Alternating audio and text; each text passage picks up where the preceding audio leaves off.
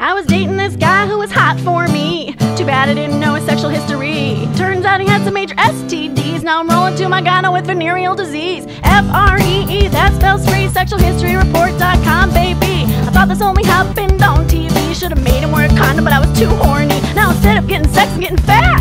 I'm at the doctor's every outbreak and my pussy's getting laughed at. F R E E, that spells free. Sexualhistoryreport.com, baby.